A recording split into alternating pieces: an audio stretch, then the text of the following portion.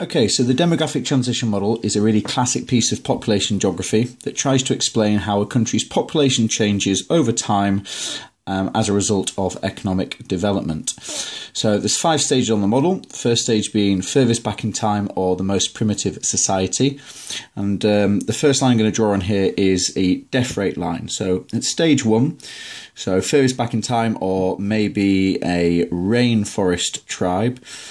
Um, the idea here is that the death rate is really high. It's high because of lack of access to um, medicine, to vaccinations. So if um, someone catches a cold, even or drinks dirty water, gets cholera, they're going to die. There's no treatment for them. So you've got a low life expectancy, high death rate, high infant mortality rate. However, then maybe there's an injection of aid, or the uh, society or the country develops, they start to get things like vaccinations, um, start to get access to basic medical care, and over time, the death rate starts to drop. And then you eventually get to stage four, which is where the UK would be, and you have got a low and steady death rate because we've got medicine to sort out all of our problems. So, a good example of a country uh, that's maybe in stage two would be somewhere like Ethiopia. Um, they've still got a relatively high death rate, but it is falling because they are getting access to things like uh, medicine and vaccinations. A good example of a country in stage three would be somewhere like India. That's much more developed. It's starting to get, it's, it's got a lot more access to um, uh, good healthcare, doctors, vaccinations, and so therefore the um, and clean, clean running water, and so therefore the the death rate is is much lower. Still not quite um, level of the UK yet, though. So, the second line that we need to draw on here is for birth rate, and in stage one, the birth rate is also high.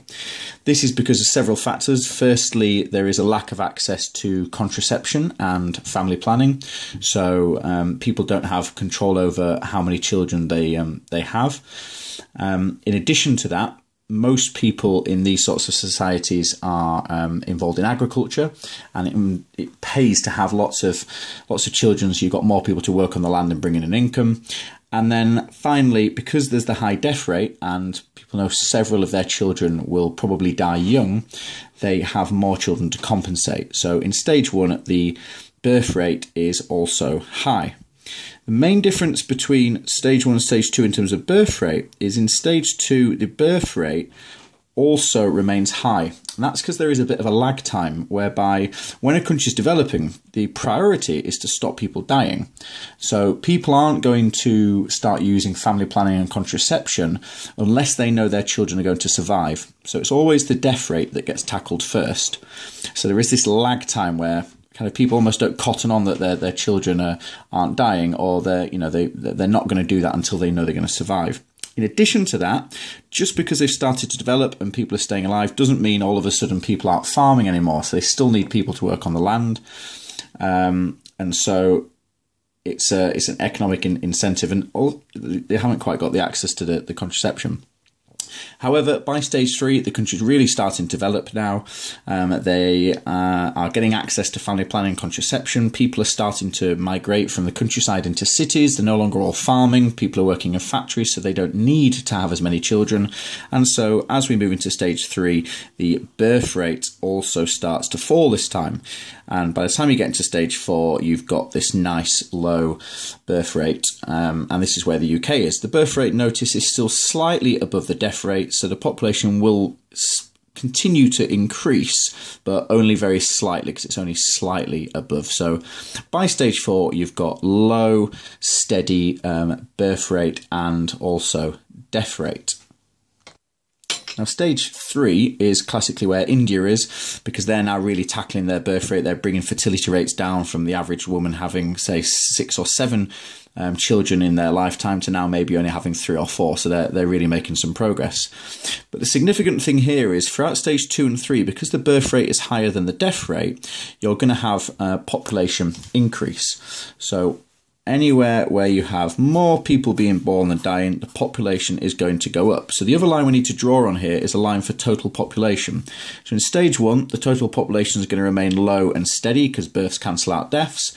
However, in stage two, because the birth rate's higher than death rate, death rate's falling, the population starts to increase and that continues through stage three, but then levels out in stage four because now the birth rate um, and death rate are both low. Now, you might have noticed there is also a stage 5 on this model. This is a, a new stage that had to be added. And the reason for that is because the although the death rate remains low and steady in stage 5, there are some countries in the world, such as Japan, probably shouldn't have drawn that there, where the birth rate has now got so low that it's actually dropped below the death rate. And that causes what's called natural decrease. So over here we have natural increase where the birth is above deaths. Down here we have natural decrease. The population is starting to tail off and drop. So that is the demographic transition model. It shows how um, population changes over time from primitive societies and LEDCs through to NICs, newly industrialized countries here in the middle like India and China, through to MEDCs like the UK, and finally Japan. So go away and learn it.